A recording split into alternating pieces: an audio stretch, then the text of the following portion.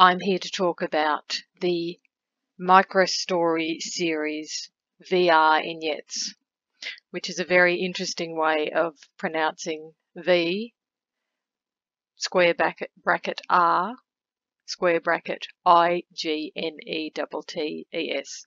Think of it as if you took the word vignettes and inserted R to create VR in the word. Uh, originally, this artwork wasn't titled VR vignettes. It was called A Million and Two. And this is because originally the artwork was conceived to be a set of VR vignettes that you could experience as actual environmental game spaces. Um, through an examination of what was best for the actual content of each microstory, it was decided that accessibility was more of an issue than trying to develop a form that would be kind of whistles and bells based and be very um, spectacular in terms of its presentation. Instead, I decided to go for something that would display on uh, mobile devices, PCs, Macs, uh, basically across a range uh, of headsets, VR headsets, and other platforms. So this is what uh, kind of guided the work. Initially, there were going to be quite a few more micro stories making up the series, but as you'll soon see, the um, series itself isn't fixed. In the introduction that um, prefaces the works on the website, I actually give a brief introduction about the uh, format of the work. And this is what I call narrative smearing. And I'll just read a bit from the actual description. Narrative smearing is where traditional story techniques are truncated and mutated into smears, what I call kinetic actions and mechanics, collage-like layered building blocks, visual distortions, dual-tiered text annotations, which require a reader to make active choices in order to navigate each microstory space or story box. Storybox was a, a, term that I came up with because each of the stories is actually hosted on Sketchfab, which is an online platform um, that hosts 3D and VR sculptures or models. Now, this is the first work uh, that was created in the series called In the Skin of the Gloam. And I'll just go through um, each of the works to give a uh, the stories to give a brief um, overview and run through of, of them. Now, obviously, um, due to time constraints, we can't go in depth into each micro story. So uh, what I'll do is I'll just bump up the audio so we have a sense of the actual soundtrack behind the work that could be a little bit too loud there so we'll just reduce it a bit now each story bo box as you can see because it is hosted on Sketchfab it actually has the title in the uppermost left hand corner um, there's a set of tools to each story box that you can use that changes the way that an audience member or viewer can actually experience the work. So if you select the annotation bar down here, you can actually go through the text component of the work sequentially. So if I select the first annotation, what happens is there's a zoom in and you see the, the first line of the, the first story. So this line is Gloam. Her bones like teeth, needling and chattery, chittery, rivets in her skin, ratcheting or hatcheting. So as you go through each work, you have the option to actually, and I'll show you here, you can hide the annotations. You can start autopilot, which will actually take a manual playthrough of the work so you don't actually have to have any click throughs and it reduces the interactive aspect of the work, but it kind of plays out like a VR film.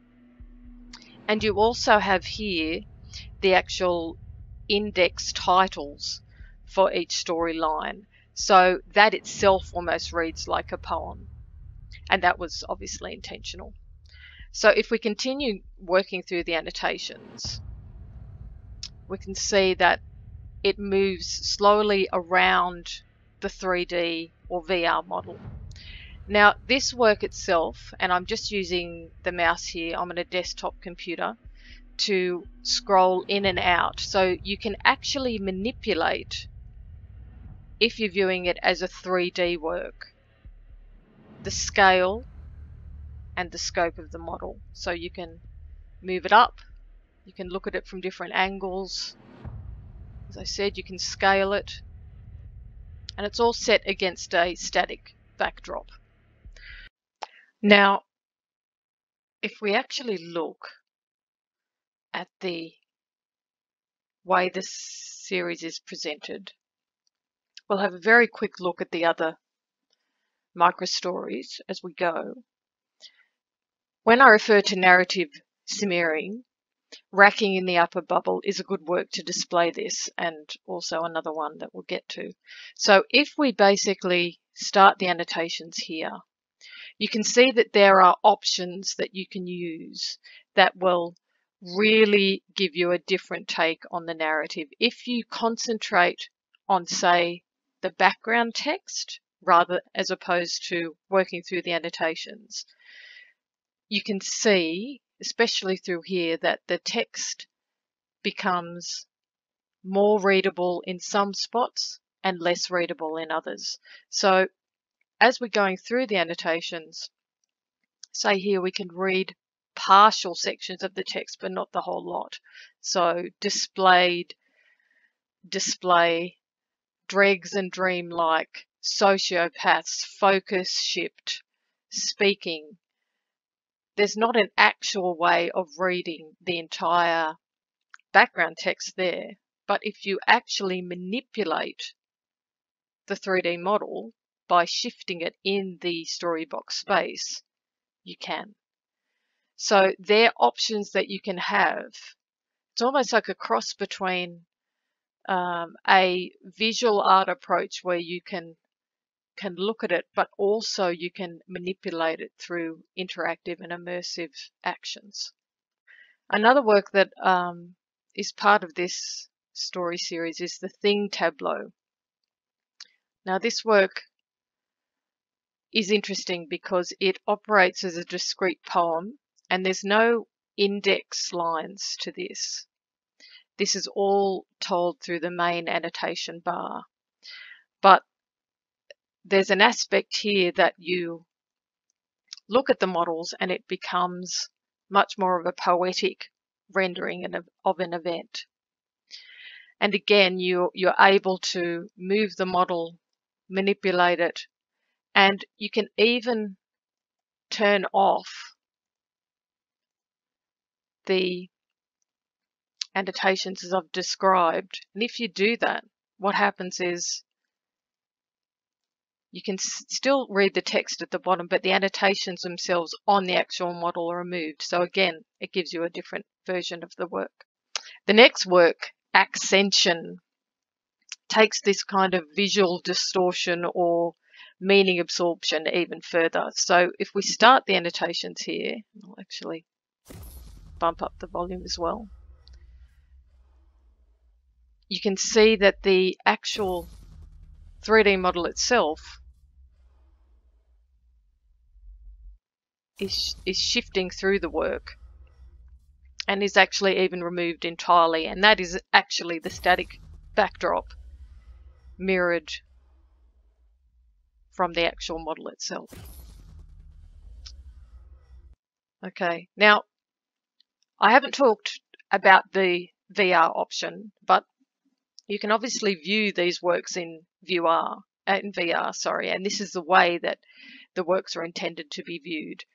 Unfortunately, there's no easy way to capture the VR version um, in video, so basically, hopefully, uh, those of you with a VR headset will choose this option. And if you if you do view it in VR, it's a completely different experience again.